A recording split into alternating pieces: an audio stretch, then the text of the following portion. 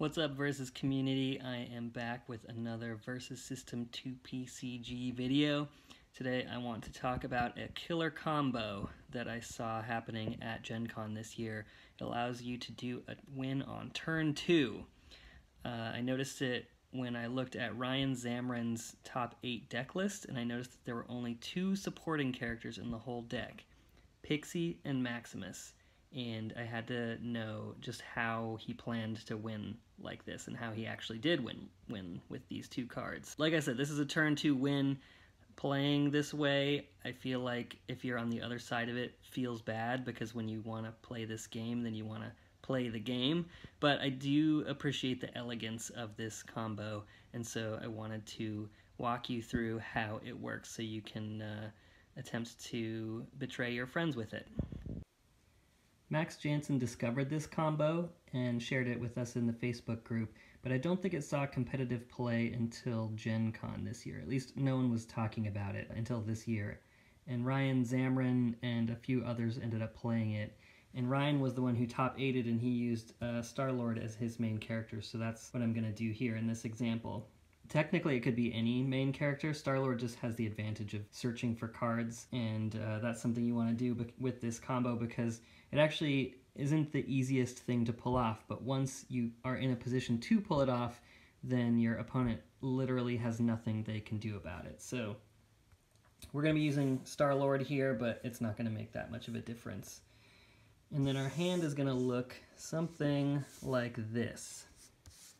Now again, the chances of you getting this in your opening hand are pretty slim, but we're going to streamline this for the sake of the combination. So Pixie's the mulligan condition. She has the power hallucinogenic dust. Reveal cards from the top of your deck until you reveal a character that is not already on your side. Put that character onto your side and shuffle the rest of the revealed cards into your deck. At the end of your turn, KO that character. And that's really where this all hinges, is on Pixie's use of hallucinogenic dust.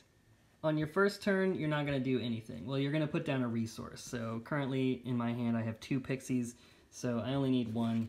I'm going to take the other one, I'm going to flip her over face as a face down resource.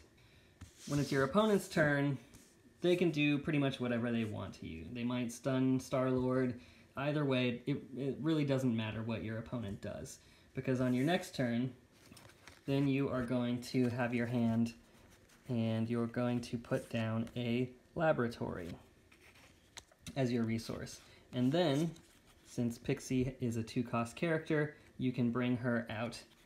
And since her hallucinogenic dust is uh, requires a laboratory, an energy symbol, then you can use that right away. So we'll put her out.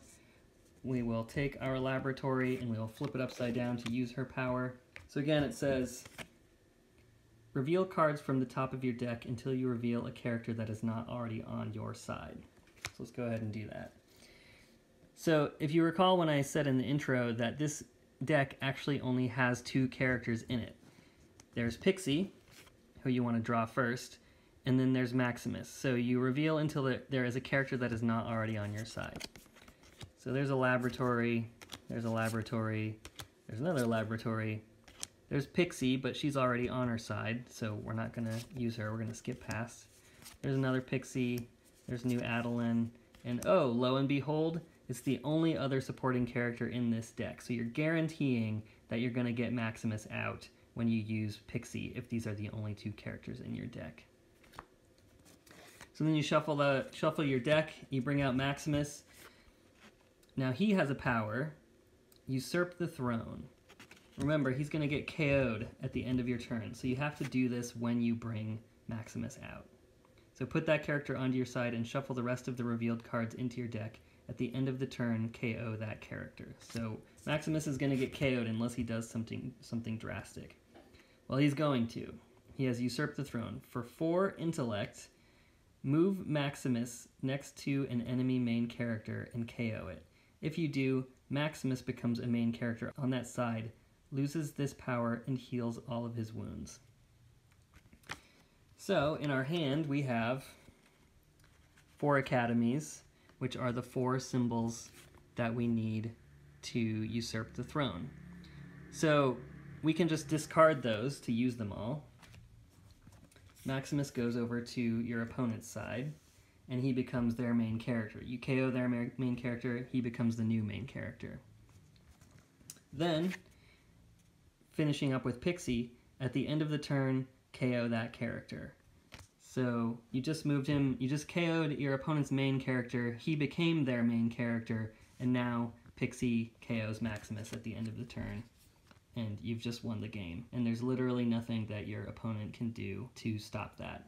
So there you have it. Two cards that will get you a win on turn two, with your opponent having very little to say about it, very little interaction. Like I said, it, it kind of feels bad when you're on the other side of it, but I know it's fun to look for these sort of killer combos that will take the game in a direction that nobody was expecting, and I think this is a really good way to do that. So I hope you like that. Be sure to subscribe, and I will try to keep making more Versus System content. See you next time.